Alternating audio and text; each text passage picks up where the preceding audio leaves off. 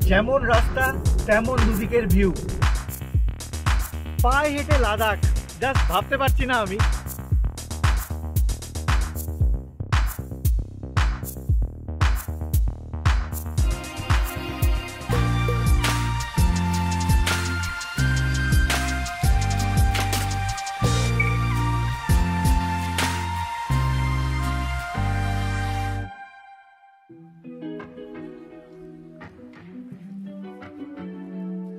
খেয়াল করে দেখেছি সপ্তাহ দুয়েকের বেশি ঘরবন্দি হয়ে থাকা আমার পক্ষে বেশ কষ্টকর। কেমন একটা রেস্টলেসনেস কাজ করে ভেতরে। আমার এই অস্থিরতাকে সায় দিয়ে আমার চার পেয়ে বাহনটিকে আবার তাই রাস্তায় নামতে হয়েছে আজ।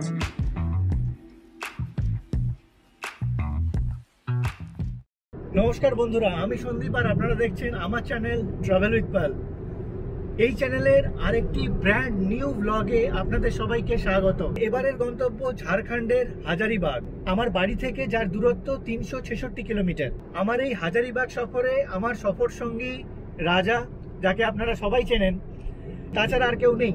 আমরা দুজনেই শুধুমাত্র হাজারিবাগের বেশ কিছু অফবিট জায়গা এক্সপ্লোর করব। সঙ্গে থাকুন, দেখতে থাকুন ট্রাভেল উইথ পাল কলকাতা থেকে সড়ক পথে বর্ধমান দুর্গাপুর আসানসোল ধানবাদ ও বাগোদার হয়ে হাজারিবাগের দূরত্ব কম বেশি তিনশো নব্বই কিলোমিটার। চলুন এবারে সকাল সকাল ব্রেকফাস্টটা সেরে নেওয়া যাক। ব্রেকফাস্টের জন্য আমি দাঁড়িয়েছি গুড়াপের ঠিক কাছেই এই হাইওয়ে মির্চি রেস্টুরেন্টে এটা কিন্তু একটা ভেজ রেস্টুরেন্ট চলুন যাওয়া যাক। অনেকটা জায়গা নিয়ে এই ভেজ রেস্টুরেন্টটি ইনডোর এবং আউটডোর সিটিং অ্যারেঞ্জমেন্ট আছে। আমরা নিয়েছিলাম গরম গরম কচুরি আর মশালা অনিয়ন ধোসা। ব্রেকফাস্ট তাহলে চলে এসছে? ভেজ হলেও খাবারের বৈচিত্র্য গুণগত মান আর স্বাদ লাজবাব। দুর্গাপুর পেরোনোর ঠিক পরই রাস্তার পাশে একটি ছেলেকে দেশের পতাকা আর লাগেজ পিঠে নিয়ে হাঁটতে দেখে গাড়ি দাঁড় করালাম। হাজারিবাগ যাওয়ার পথে একজনের সঙ্গে দেখা হয়ে গেল। ভাইয়ের নাম হচ্ছে মিলন মাঝি। ওনার মুখ থেকেই শুনে নেব ওনার এই অ্যাডভেঞ্চারের কাহিনী। অ্যাডভেঞ্চার বলতে এটা আমার নমস্কার আগে আমি বলে নিজের পরিচয় দিই। আমার নাম মিলন মাঝি। আমার বাড়ি সিঙ্গুরে বয়স ছাব্বিশ বছর বাবার নাম অনিল মাঝি। ঠিক আছে আমি বাইশ তারিখ সকাল নটা তিরিশ নাগাদ হাওড়া ব্রিজ থেকে বেরিয়েছিলাম সকালবেলা। আজ আজ সাত নম্বর দিন রানিং চলছে। তো আমি যাচ্ছি লাদাখে। সবাই শুনে চমকে আছে পায়ে হেঁটে লাদাখ কীভাবে সম্ভব? আসলে একটা জিনিস আমি সেটাই বলি যে সম্ভব, অসম্ভবের ব্যাপারটা ততক্ষণই, যতক্ষণ না কেউ সেটা অসম্ভবটাকে কেউ সম্ভব করে দেখাচ্ছে। তো আমি তাদের মধ্যে চেস করতে পছন্দ করি, নিজের স্বপ্নকে পূরণ করতে পছন্দ করি, সব- শুধু স্বপ্ন তো বর্তমানে অনেকেই দেখে, কিন্তু সেটাকে পূরণ করে খুব কম মানুষই। তো আমি তাদের মধ্যে যারা স্বপ্ন দেখি এবং পূরণ করতে পছন্দ করি সেটা আমার নিজস্ব বার্তা যে অনেককেই বলব, আপনারাও স্বপ্ন দেখুন এবং পূরণ করার চেষ্টা করুন। আর দ্বিতীয় একটা গ্লোবালি বার্তা সবার জন্য এটাও আছে যে দেখুন ওয়ার্ল্ড ওয়াইড বর্তমান দেখতে পাচ্ছেন পলিউশন কত পরিমাণে বাড়ছে। তো সারাদিনই একটা এমন কাজ করুন, যেটা পলিউশনের হিতে হোক, যাতে কোথাও না কোথাও পরি- পরিবেশ সচেতন হোক নেক্সট জেনারেশন একটা ভালো একটা মেসেজ পাক। তো সেরকম একটা কাজ করুন, সারাদিনে একটা, বেশি না, একটা, যার যেমন সামর্থ্য, সে বাড়িতে একটা ছোটো প্লান্ট বসান বা একটা বাগানের পিছনে একশোটা গাছ বসান, সেটা আপনার ব্যক্তিগত ব্যাপার। সেটা করুন, যেভাবে করুন। নেক্সট জেনারেশনকে একটা সেফ জেনারেশন বানান, সেটা দায়িত্ব আমাদেরই। আর ওটাই বারবার বলছি, আমার স্বপ্ন ছিল। বাট বাইক নিয়ে যাওয়ার অনেকে বলছে, পায়ে হেঁটে কেন বাইক নিয়ে যাওয়ার স্বপ্ন ছিল কিন্তু সেটা ফাইন্যান্সিয়াল প্রবলেমের দিক থেকে আমার হয়ে ওঠেনি এই মুহূর্তে। তো এই মুহূর্তে আমার কাছে যেটা আছে, সেটা হচ্ছে আমার কাছে বয়স আছে। তো বয়সটাকে কাজে লাগিয়ে আমি ভাবলাম মেবি পরে কি হবে কি না হবে সেটা পরের কথা। কাল কে দেখে কে জানে। তো আজকে তাই পায়ে হেঁটেই আমি ভাবলাম যে ঠিক আছে, যখন করব একটু ডিফারেন্ট কিছু করব। নিজের স্বপ্ন তো পূরণ করব, তার সাথে একটা মাইলস্টোন ক্রিয়েট করে দিয়ে যাব যে হ্যাঁ ইচ্ছা থাকলে সব কিছু সম্ভব। আমি কোনো প্রফেশনাল অ্যাথলিট নয় বাট লাস্ট দু বছর ধরে নিজেকে প্রিপেয়ার করেছি এই দিনটার জন্য। এটুকুই বলব স্বপ্ন দেখুন পূরণ করুন সেই স্বপ্নটার সাথে বাসুন ধন্যবাদ। পায়ে হেঁটে লাদাখ জাস্ট ভাবতে পারছি না আমি। মিলনকে লিফট দেওয়ার কথা বলায় সে হাসি মুখে আমার প্রস্তাব ফিরিয়ে দিল। এরপর মিলনকে শুভেচ্ছা জানিয়ে আমরা এগিয়ে চললাম। বরাকর নদীর ওপর ব্রিজ পেরিয়ে এখন ঝাড়খণ্ডে ঢুকছি। এই জায়গাটির নাম গোবিন্দপুর। এখান থেকে বাঁ দিকে বোকারো হয়ে ছিন্নমস্তা মন্দির দেখে পাত্রাতু যাওয়া যায়। আমরা গত বছর এই ট্রিপটা করেছিলাম, যার লিঙ্ক ওপরের আই বাটন ও নিচে ডেসক্রিপশন বক্সে পেয়ে যাবেন।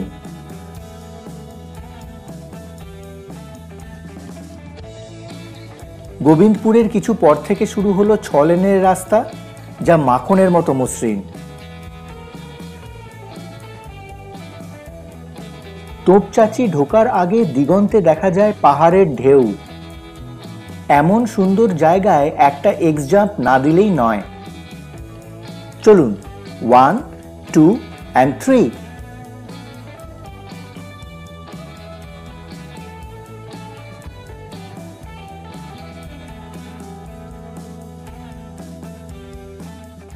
আমরা এখন যাচ্ছি ঝাড়খণ্ডের তোপচাচি দিয়ে। আর যেমন রাস্তা তেমন দুদিকের ভিউ এইদিকে পাহাড় দেখা যাচ্ছে, আমি জানি না এখানে দেখা যাচ্ছে কি না খুব সুন্দর আমার ডান দিকে পাহাড়ের একটা রেঞ্জ আর রাস্তা তো অসাধারণ।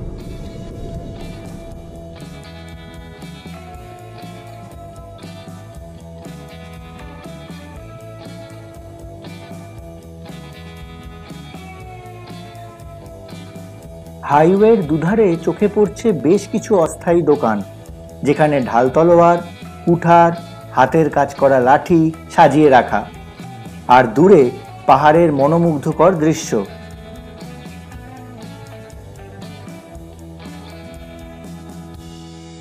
এটা হচ্ছে পরেশনাথ পাহাড়। আর ওপরে যে সাদা ডট একটা দেখা যাচ্ছে, সেটা হচ্ছে পরেশনাথ মন্দির।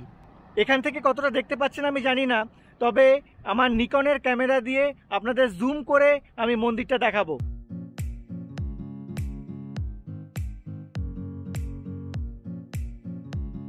প্রসঙ্গত জানিয়ে রাখি, পরশনাথ পাহাড় হল ঝাড়খণ্ডের হাইয়েস্ট পিক আর তার ওপরের মন্দির জৈনদের বেশ গুরুত্বপূর্ণ ধর্মীয় স্থান।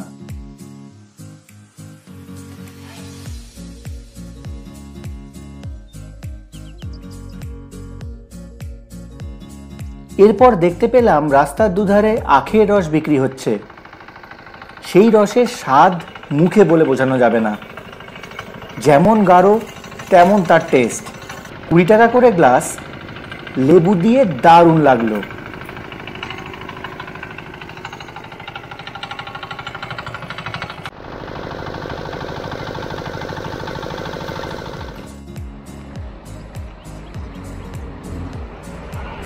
একটা রোড সাইড হোটেলে লাঞ্চ করলাম। ভাতের সাথে ছিল গরম গরম ডাল ফ্রাই, আলু ভাজা আর ডিমের অমলেট লাঞ্চ করে আমরা বাগোদার মোড় থেকে ন্যাশনাল হাইওয়ে ছেড়ে দিলাম। তারপর ধরেছি এই রাস্তাটা, যার নাম হচ্ছে বাগোদার হাজারিবাগ রোড। তো এই রাস্তা দিয়ে সোজা আমরা চলে যাব হাজারিবাগ। বাগোদার মোড় থেকে হাজারিবাগের দূরত্ব পঞ্চাশ কিলোমিটার।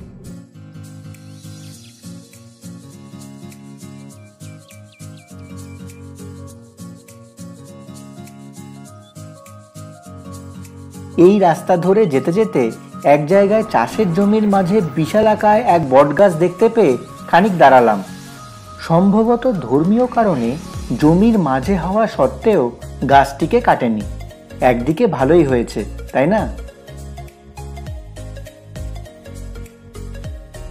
শালের জঙ্গলের মাঝ বরাবর খানিক আঁকাবাঁকা রাস্তা চলে গেছে। ভারী সুন্দর লাগছে দেখতে। এখন দুপুর সোয়া তিনটে বাজে।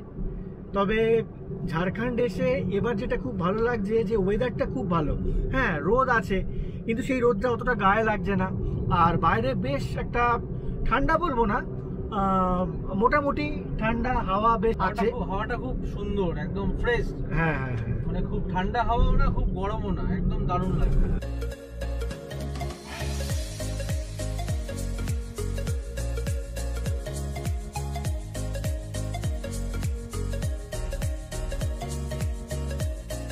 হাজারিবাগ ঢোকার আগে রাস্তার ধারে দেখি সার দিয়ে মাচা করে রাখা ধানের খড় বা বিচুলি।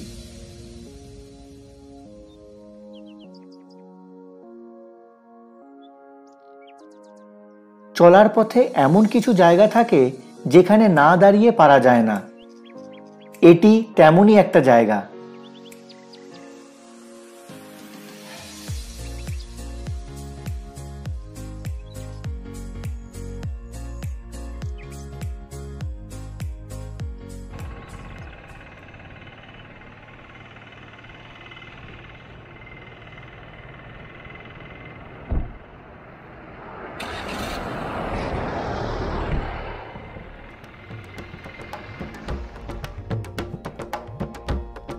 হাজার বাগানের দেশ হাজারিবাগে আপনাদের সকলকে স্বাগত। গুগল বলছে এই মোড় থেকে ডান দিকে গেলে আমাদের হোটেল পাওয়া যাবে।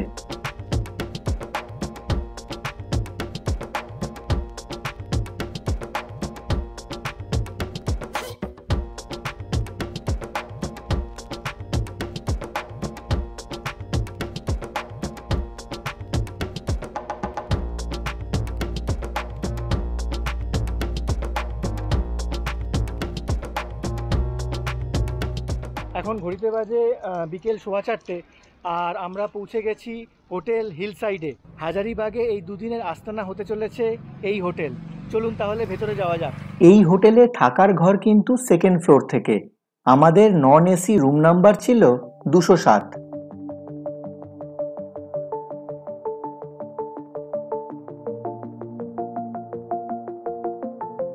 আমি এখন হোটেল হিল সাইডের ছাদে আছি। গুগল থেকে এই হোটেলের খোঁজ পেয়েছিলাম এবং সেখানে রেটিং ছিল থ্রি পয়েন্ট নাইন। ছাদের ওপর থেকে ভিউ খুব সুন্দর। এখানে দেখা যাচ্ছে আমার পেছন দিয়ে হাইওয়ে চলে গেছে। দূরে পাহাড়। আর এদিকে একদম পাহাড়ের গা ঘেঁষেই হোটেলটা, সেই জন্যই নাম হিল সাইড আর এদিকে সূর্যাস্ত হচ্ছে। তো সব মিলিয়ে খুব সুন্দর। এখনও অবধি। আমি ফোন করেই বুক করেছিলাম হোটেল। কোনো রকমের অ্যাডভান্স দিতে হয়নি। এবং ফোন করার সময় জিজ্ঞেস করেছিল যে কি ধরনের রুম নেবেন এসি না নন এসি তো আমি জিজ্ঞেস করেছিলাম, হাজারিবাগের ওয়েদার কেমন? তখন ছেলেটি আমাকে বলেছিল যে এখানে বেশ ঠান্ডাই আছে। তো সেই জন্য আমি বললাম নন এসি রুম এবং নন এসি রুমের ভাড়া নিয়েছে নশো নিরানব্বই টাকা।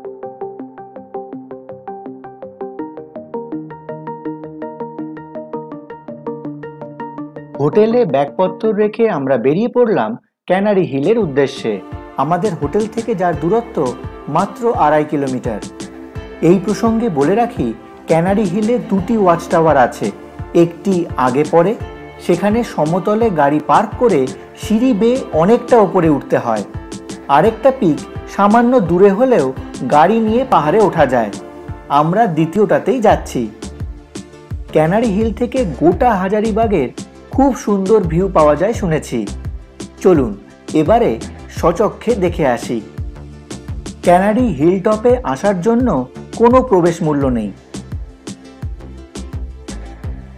পাহাড়ের ওপরে আছে একটি ফরেস্ট রেস্ট হাউস ও তার সাথে একটি ওয়াচ টাওয়ার।